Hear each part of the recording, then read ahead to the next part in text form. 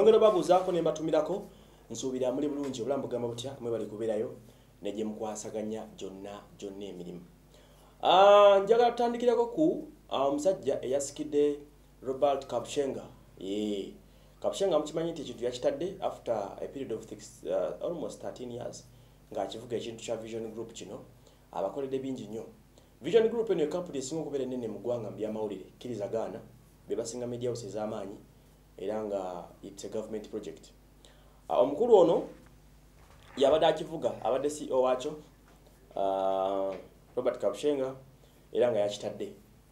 Yasikiziddwa omukulu amanyikiddwa nga don wanyama don innocent wanyama era nga nandyagadde tumwogereko mumanye yaani. Don wanyama yabadde munamawulire wa president okuva 2016 era mumulaba ebikwatagana state house byonna ebiri official omukulu don wanyama yabifulumya musajja oyo okuva embaale ebimukwatako katubisome busomi kubanga si bitono bingiko doni wanyama yazaalibwa mu 1980 kitegeeza balina emyaka kati nga ana mugumu mukyala we ye rita kidasa balina abaana babiri bombi ba bulenzi. Doni yakulira mbaale gye yava n'agenda etololo ne nnyina era oluvannyuma ne bagendako e kenya. Okusa ku byafa bya doni wanyama ng'ali etololo yasoma mu rockview primary school ate e kenya yali mu milimani n'endalu primary school. Oluvannyuma baakomawo mu uganda bwe baakomawo mu uganda ne yegatta ku fairway primary school embaale gyatulira p7 senior doni wanyama yagisomera ku nabumali college jinja ate senior 6 n'amalira ku mbale college. Omukulu ono alina diguri ey'obusomesa gye yafunire makerere university nga yakuguka mu lungereza era mu mwaka gwe ye yasinga abayizi bonna 1500 be yasoma nabo yatikkirwa diguri ey'okubiri oba giyite masters mu byamawulire. Ah yoyo omukulu.